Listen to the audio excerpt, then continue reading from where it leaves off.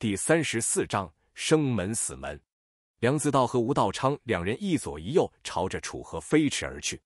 虽然两人都对于楚河展现出来的实力感觉到心惊，可到底也没有那种直接放弃抵抗的想法。毕竟楚河还年轻，就算是天赋绝伦又能如何？他们两人加起来都两百多岁了，战斗经验和道术的精深程度都不是一个小小的年轻人可以抵抗的了的。喵呜！还不等楚河出手，那九命猫妖小黑就直接怒叫一声。只是不知为何，这声音听起来就像是猫咪，威严稍微有些不足。吴道友小心，此乃九命猫妖！小黑直接一巴掌朝着吴道昌拍了过去。吴道昌冷笑一声：“不过是一只虚弱到了极点的天妖罢了。”他说着。直接从怀中掏出了一只八卦镜，在躲闪过了小黑的攻击之后，直接就拿起来对着小黑照射而去。一道金光从八卦镜之上传来，照射到小黑身上之后，顿时传来一阵焦臭的味道。原本小黑乌黑发亮的毛发直接被烧出了一个洞，小黑吃痛，直接跳开。呵呵，畜生就是畜生！一道声音冷不丁的从小黑的身后传来。难道连陷阱都看不出来吗？话音落，小黑陡然感觉到像是被一张大网给束缚起来，在小黑的脚下，一个巨型的太极图案亮起，而刚才那些弟子们布置的像是金线一样的凌厉线条陡然升起，直接将小黑缠绕其中。呵呵，空有一身蛮力，又能如何？梁自道嗤笑道：“这便是人族虽然弱小，但是却能将你们封印的原因。”吴道昌也掐起法诀，楚河的脚下也升起了跟小黑一模一样的阵法。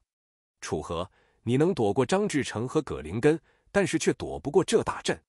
吴道昌见到楚河也不闪避，心中已经是松了几分。我见门阁和青城的梁自道道友，还有那峨眉的素心道友，均是以阵法见长，你还是投降了吧。这阵法你破不出，倒不如直接以身化作阵眼，重新加固封印。哼。梁自道冷哼道：“跟他那么多废话干嘛？我原以为他能从山下张志成道友和葛灵根道友的手中活着上山，定然也有几分本事。没想到就这，实在是让我失望。直接将其扔进那封印破口算了。任凭这两人在外面说着，可楚河就是不为所动，反倒是看向了一侧的九命猫妖小黑。他巨大的身形正在阵法之中不断的挣扎。你想出来吗？”想，九命猫妖小黑发出哀鸣，那我便放你出来，也算是还你刚才在山下舍命救我的人情，虽然对我的帮助也不大。说着，楚河抬起脚，朝着前面一步踏出。是，梁自道忍不住笑道：“你自己都自身难保，还要救其他人？”他忍不住摇头，继续道：“此乃八卦符行阵，其中有三百六十种变化。”只要走错一步，束缚便会加强一分。我要是你，就不会轻易的移动。话音落，楚河的一脚也直接落下。八卦符行阵一如往常，没有出现任何的变化。梁自道的瞳孔一缩，什么？竟然没有触发阵法？吴道昌眼神也是微微眯起，随后又微微睁开，倒有何须担心？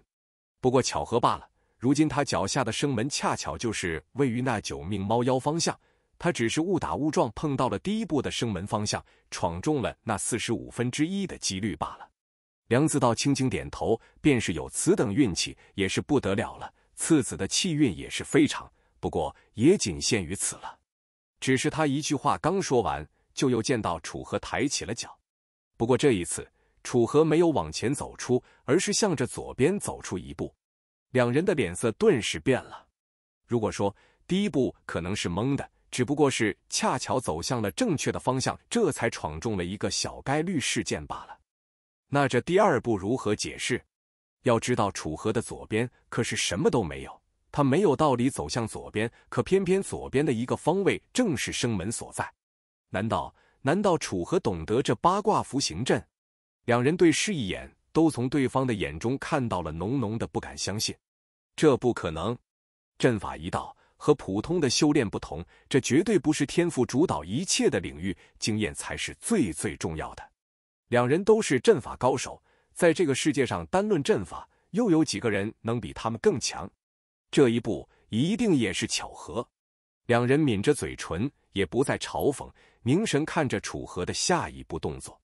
却只见到楚河微微一笑，直接连连踩出几步，每一步都是精准的踩在了阵法的生门之上，精确无比。甚至他们甚至怀疑，就算是让他们走进这个阵法，能否做到像是楚河现在这样驾轻就熟？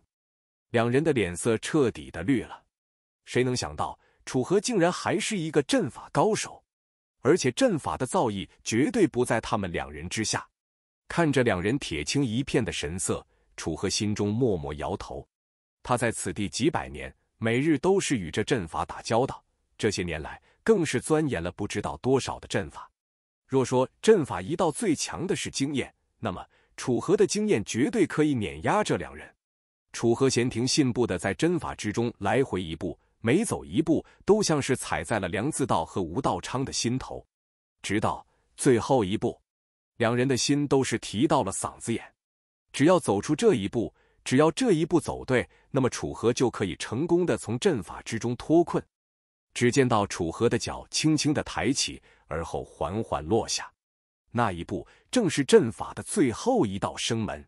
若是这一步落下，那便是楚河这三百六十步生门一步也没有踏错。便是梁自道和吴道昌进去，也至少要踩错三分之一，通过试错来走出剩下的生门。而楚河一步也没有走错。